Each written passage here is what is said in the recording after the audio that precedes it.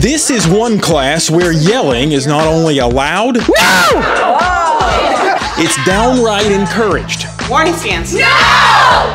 And keeping your hands to yourself, Ow!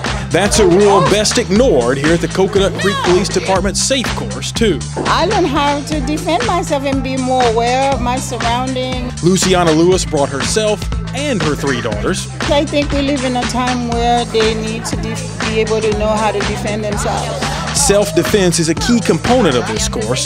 Participants are taught the palm heel strike, which is the very bottom of your palm because it's as hard as a rock. So like take this, this part of your palm, and through the target. There's also the knee strike, Grab the pad. Now drive your knee in. No! See the difference? and while all of this is important, a good amount of the class is on situational awareness, or how to keep yourself out of trouble.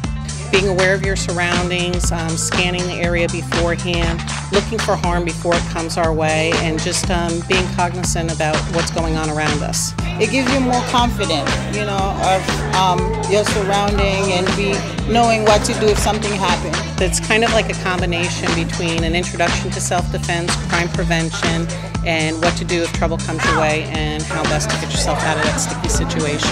I love punches, knee strike, grabbings, you know. Oh, yeah, Luciana, we know.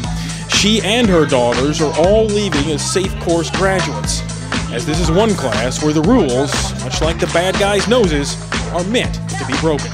For the Coconut Creek Police Department, I'm Scotty Lee.